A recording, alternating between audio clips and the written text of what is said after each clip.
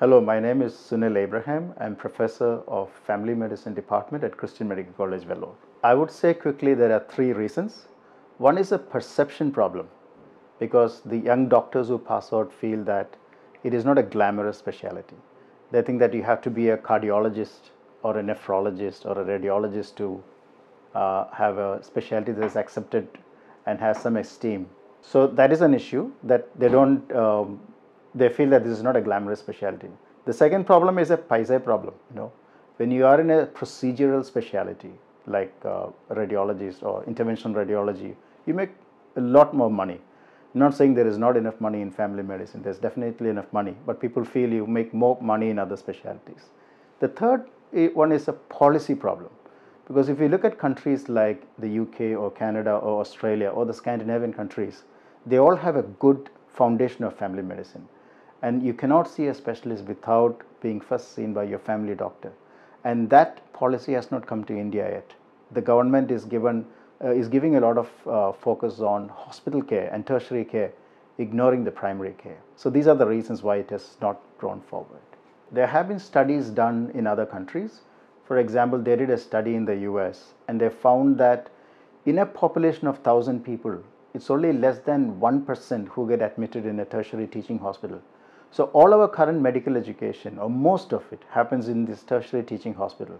By the time the diseases they see are very rare and very focused.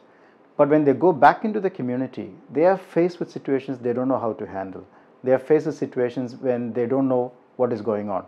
So if you increase the duration of medical education in the community, they will learn about more common problems and where problems present to the doctor much early in their diseases and that is very important. We have tried doing that in CMC and it is making an impact. When, when people age, there are a few issues that they face. One is they have multiple diseases. The aged person may have diabetes, hypertension, COPD, uh, musculoskeletal problems, depression, prostate problem, whatever. And they need somebody who can manage all these things or most of the problems, most of the problems that, with one physician and otherwise it's very tedious for them to go to one specialty to the other. The other problem is going to the hospital is becoming more and more a harrowing experience because you had to go to the busy traffic, you had to go there, wait in line. So elderly people may not be healthy enough to do that. And they are also looking for people whom they know on a continuous long-term basis. So I see a great role for family physicians to give geriatric care. I personally have worked in a very rural place. Soon after my MBBS, I worked in a village of 1500 population and I know the realities of working in a rural place. It is challenging and I think there are three issues people face there. One is schooling because when the children grow up they have to go to a proper school and so that makes them leave the rural place. The second issue is the support system because the, the infrastructure and the support system in rural hospitals are very poor. The third thing is the salary because they make less money uh, when you are in a rural place.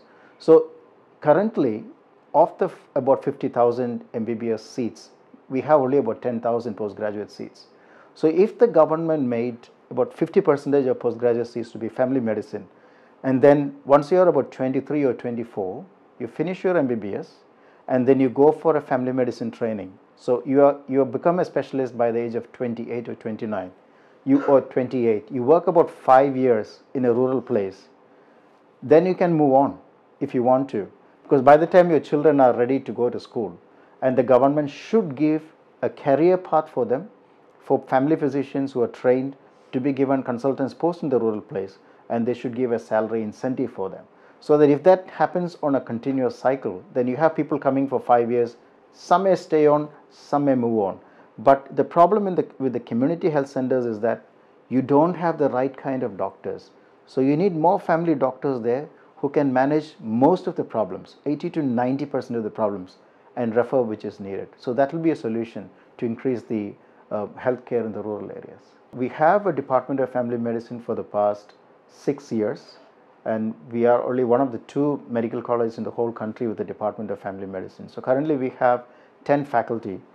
We most of us work in this 46 bedded unit for the urban poor called the low cost effective care unit some of us work in the urban, there's an ambulatory care family medicine center where patients are given ambulatory care. That means there is no place to get admitted, but they can come as a one stop place for most of their medical problems, get the drugs there, give the investigations there, and you have minor procedures also being done there.